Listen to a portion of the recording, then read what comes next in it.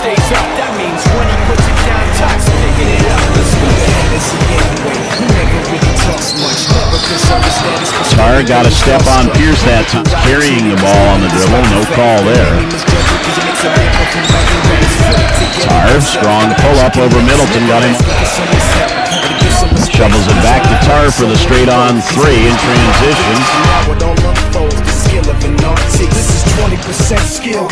Tripped, no call as Earl Jones steals it and gives it to Tarr. Black working against Middleton. Back again to Tarr out of the corner for three. He's 4 12 from three point range for the year. He nails that one. And 10 straight points for the Cavaliers brings it to a six point game. Tarr eases into it. Daniels.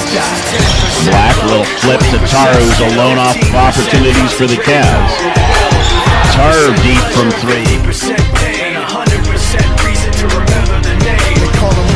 Sick and he's spitting fire and Mike got him out the dryer, he's hot. Found him in Fort Minor with Tak, but a fucking nihilist porcupine. He's a he's a the type women wanna be within rappers. Hope he gets eight years in the making, patiently waiting to blow. Now the record with notice taking over the globe. He's got a partner in crime, his is equally dope. You won't believe the kind of that comes out of this kid's throat.